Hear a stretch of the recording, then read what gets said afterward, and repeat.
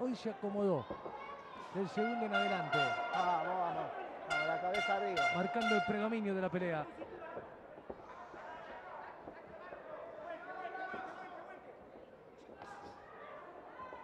Derecha.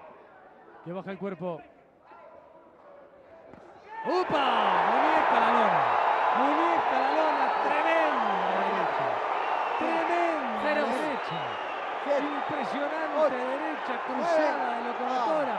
Se va, se va, se va, se va, se va, se va.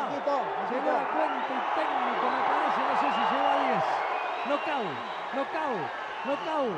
Carbón en Jujuy, estación norte. Llegó la locomotora Oliveras. Se quedó con la victoria. Knockout Knockout, 5. knockout, knockout. Cuenta que llegó a 10. A la colombiana habrá que contarle que vino al norte, que llegó a la Argentina y que después del quinto se le apagó el monitor. Knockout Vamos, eh, 5, knockout, flecha. Locomotor. Oliveras defiende el título pluma.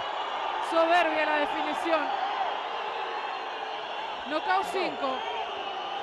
Y Knockout. qué mejor que con esta performance, con el desarrollo que había conquistado y obtenido en el Muy bien, transcurso muy bien. de estas cinco vueltas, de menor a mayor, hilvanando como si fuese una pieza por pieza, tejiendo una noche magistral.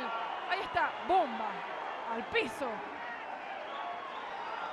Y para que no se levante más, la midió, estudió y ahí le cruzó la derecha, pega como un hombre.